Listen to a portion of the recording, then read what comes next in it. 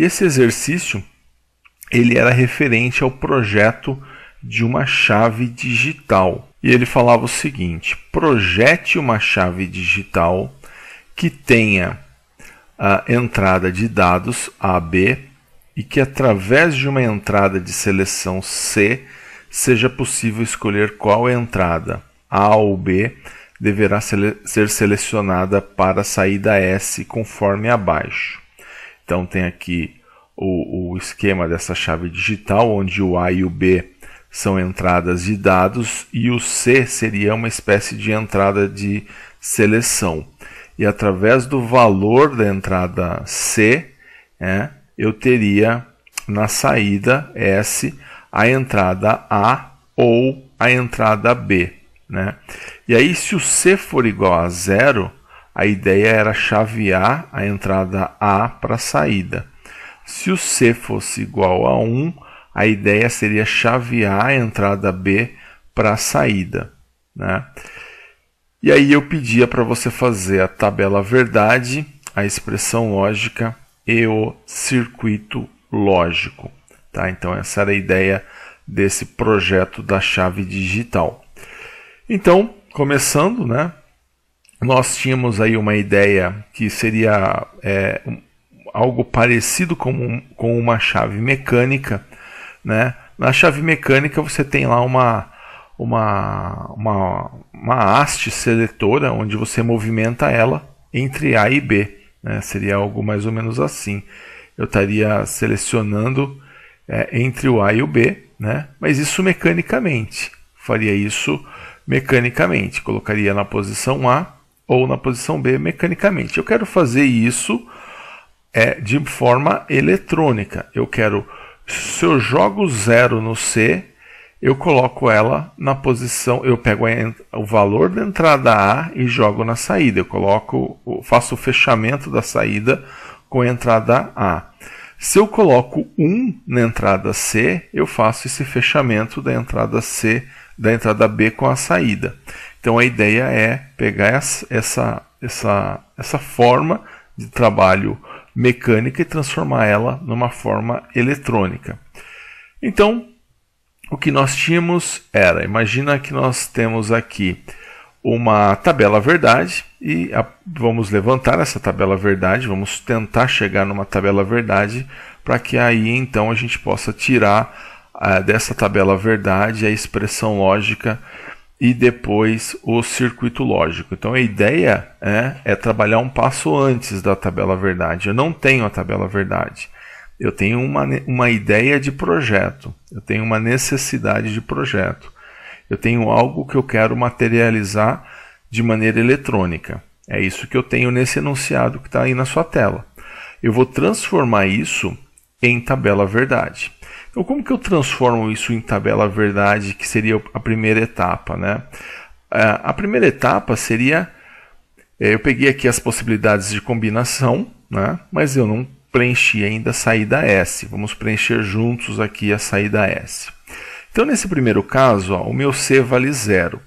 Se o meu C vale zero, que entrada que eu vou chavear para a saída? Ora, se o C é zero, está aqui, ó, se o C é zero, quem eu mando é o A. Então eu vou pegar o A e vou mandar para a saída. No caso aqui, o meu A ele vale zero. Então eu vou mandar esse zero aqui para a saída. Né? Então eu vou mandar a informação A para a saída. No segundo caso, meu B vale 1. Então quando, desculpa, o meu C vale 1. Então quando o meu C vale 1, quem vai para a saída é a minha entrada B. Então quem vai para a saída ó, vai ser esse zero. Mesmo os dois sendo zero, mas o zero que eu estou mandando para a saída nesse caso é o zero do B. Por quê? Porque eu vou, é, ele vai chavear, né? quando C é igual a 1, o S vai ser igual a B. Né? Na terceira condição, o meu C é igual a zero. Se o meu C é igual a zero, eu volto a mandar quem? Eu volto a mandar o meu a para a saída. Né? Então, quem vai aqui para a saída vai ser esse zero do A. Pode ver que o B vale 1, mas quem foi foi o zero do A. Uh, na quarta linha, na quarta possibilidade de combinação, e aqui eu tenho todas as possibilidades de combinação, que é uma característica da tabela verdade. Uh, se o meu C vale 1, quem eu vou mandar para a saída vai ser a minha entrada B. Né? Quando C é 1, ó, tá aqui C igual a 1, quem vai é o B. Então, se o B vale 1, eu vou mandar 1 para a saída. Ah, no quinto caso, meu C vale 0. Se o C vale 0, quem eu vou mandar para a saída vai ser a minha entrada A. O meu A vale 1, então eu vou mandar 1. Ah, no sexto caso, o meu C vale 1. Se o meu C vale 1, eu vou mandar a minha entrada B para a saída. Né? Porque se o C é 1, né? se o C é 1, quem vai é o B que vai para a saída. Então, se o meu B é 0, eu vou mandar aqui 0 para a saída. Uh, se o meu C é 0, eu vou mandar a minha entrada A para a saída. Né? Então, quem vai para sa a saída é minha entrada A. Se o meu A é igual a 1, né? se, o meu A, opa, se meu A é igual a 1, então eu vou mandar esse 1 para a saída. E se o meu C é igual a 1, né, eu vou mandar a minha entrada B para a saída. Se o B vale 1, então eu vou mandar 1 aqui para a saída. Então, pessoal, tá aí. Eu, eu cheguei na minha tabela verdade, né? Estou aqui com a minha tabela verdade. E aí, a partir dessa tabela verdade, eu vou é, agora levantar a expressão lógica. Tá? Então, é, eu analisei caso a caso da tabela verdade, né? cheguei a essa, a essa saída, né? analisei cada combinação da tabela verdade e cheguei nessa saída. E agora eu vou levantar, aí agora eu caio no passo que nós aprendemos na aula passada. A partir da tabela verdade levantar a expressão lógica. Então o que vai valer para a gente é onde essa saída ela é igual a 1. Porque quando ela é igual a zero, não vai fazer diferença para nós. Então eu vou marcar aqui, ó. Quando que o meu S é igual a 1? Ele é 1 aqui, ele é 1 aqui, ele é 1 aqui e ele é 1 aqui. Então o que, que eu vou fazer? Eu vou fazer, a partir desse primeiro, eu vou fazer A barrado, por quê? Porque o A vale zero. Então como o A vale zero, né? Tá aqui o A. O A vale zero, então ele entra como A barrado. Vezes B, porque o B vale 1. Vezes C, porque o C vale 1. Uh, ah, o de baixo, né, que é o outro que, que tem o valor de 1, vai ser A vezes B barrado, porque o B vale 0, vezes C barrado, porque o C vale 0.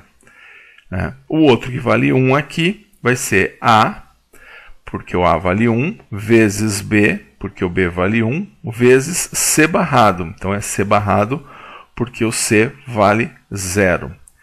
E o outro, né, onde a saída é 1, vai ser A vezes B vezes C, né, os três diretos. Por que não tem nenhuma barra? Porque os três são iguais a 1. Agora eu vou pegar o, o, o, as, quatro, as quatro mini expressões que eu obtive e vou fazer o que? A soma delas.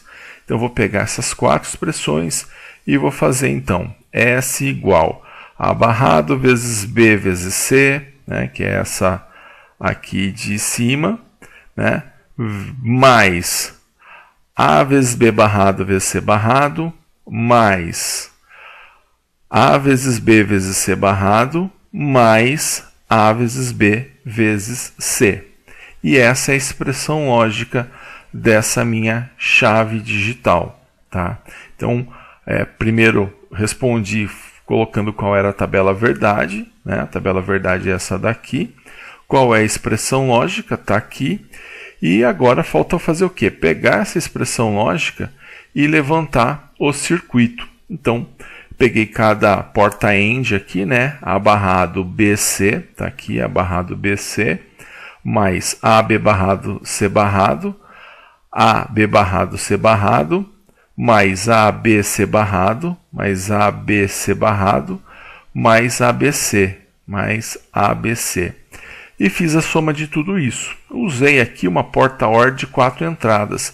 Poderia ter separado de duas em duas entradas? Poderia, usaria três portas OR de, de, de duas entradas. Tá? E fica a seu critério. Na prática, a porta END e a porta OR você pode, e a porta NAND e a porta NOR você pode usar com quantas entradas você quiser na teoria. Na prática vai depender muito do CI, do circuito integrado que você está utilizando. Tá? Então é, ficou assim o circuito para você comparar. Né? Esse era o circuito que, que vai realizar a função de uma chave digital nos moldes. Né? Então perceba, a gente saiu daquele enunciado, né, daquela necessidade de projeto, para um projeto em si, para um valor de projeto em si, tá? para um, um, um circuito eletrônico em si. Então, se eu montar esse circuito, eu vou ter realmente uma chave digital. Legal? Um grande abraço a todos e bons estudos!